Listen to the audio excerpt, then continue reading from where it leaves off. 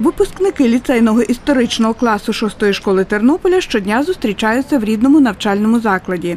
Тут займаються з репетиторами, готуються до здачі мультипредметного тесту та обговорюють план роботи у волонтерському штабі, розповідає випускниця Мішель Кардинал.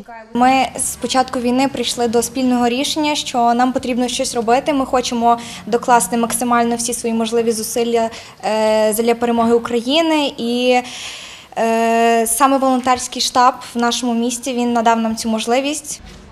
А це гуманітарний штаб, що в центрі науки Тернополя, де волонтерять випускники. Тут у кожного з них своє робоче місце.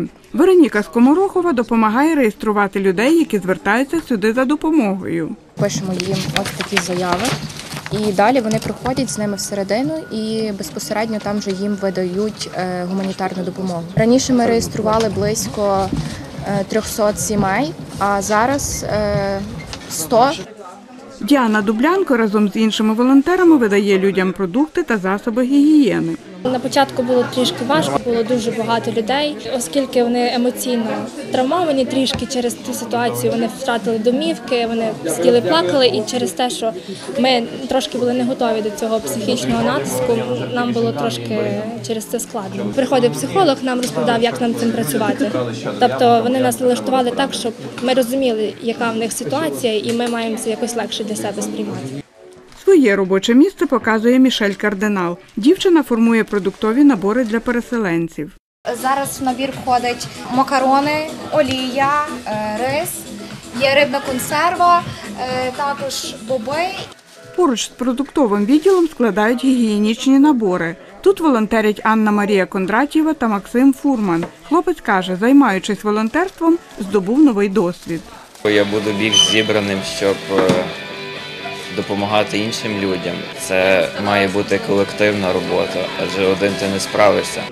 Хто і коли отримував допомогу в центрі, знає Христина Янко. Вона вносить дані в комп'ютер.